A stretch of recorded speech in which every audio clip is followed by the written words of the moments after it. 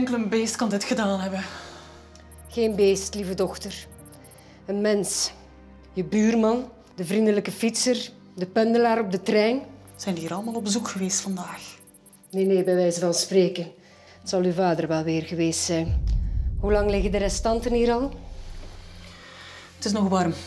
Op basis van de viscositeit en de graad van aangekooktheid hok ik op een kwartier. En niemand heeft er iets gezien, zeker? Heeft ontdekking gedaan?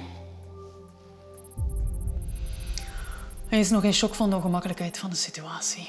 Een schatje toch. Zoiets gênants moeten meemaken de eerste keer dat hij zijn schoonouders ontmoet. Dat soort littekens heelt niet. Ik had eerst nog gedacht om het zelf op te kuisen, omdat ik bang was dat jullie gingen denken dat het van mij was. Oh, God, vergeef me. En van de dader geen spoor?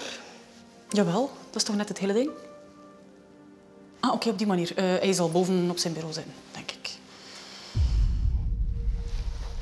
Ben je weer je dessert achter de computer aan het nuttigen?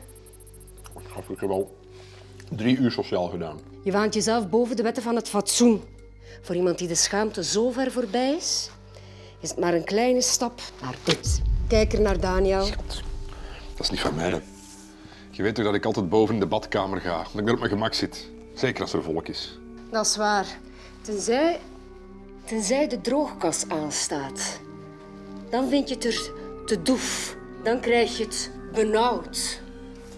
Kijk er naar Daniel. Een nachtje wc-eend laten intrekken en dat komt goed.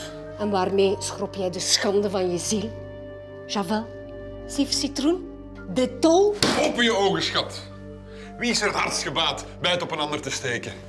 Of wil je zelf de waarheid niet onder ogen komen, omdat je weet dat het voor iedereen te gênant is? Kijk in je hart. En besef wat je al weet. Wie het eerste riekt. Zijn olke piekt. Het spijt me, Jeroen. Boys onder elkaar, dacht ik, maar ik kan je niet langer in bescherming nemen. Schat, als je je niet bekent, kan ik je ook niet helpen. Ik was het, ja.